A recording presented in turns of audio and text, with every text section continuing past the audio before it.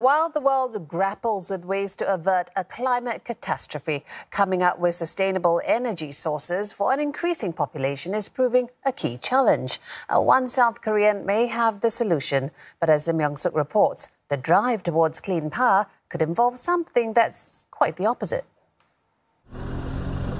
A poo factory run by resident Lee Do-heon, who's also called DH Lee in Chungcheong Province, South Korea. It's a plant that captures methane gas naturally emitted from pig manure and converts it into electricity. And where better to do it than the province with the most pig farms in South Korea.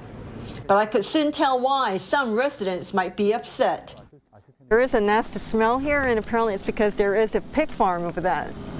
DH Lee explains how whether or not you get a whiff is a bit like striking a lottery. Depending on the wind direction, it can hit you real hard or simply pass. He says manure collected from swine farms are brought to this area four to five times a day by trucks like this. It is then stored in an underground storage, making its way to these tanks. Uh, when we make wine, we, can, we put fruits or the rice, which is organic matter. Then we close the bottle. Then it is anaerobic. That's then the bacteria works and turn it into alcohol. Mm-hmm. It's anaerobic process.